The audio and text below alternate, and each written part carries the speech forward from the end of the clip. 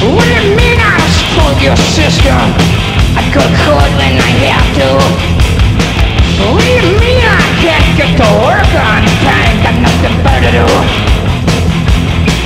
What do you mean I don't pay my bills? What do you think I'm broke?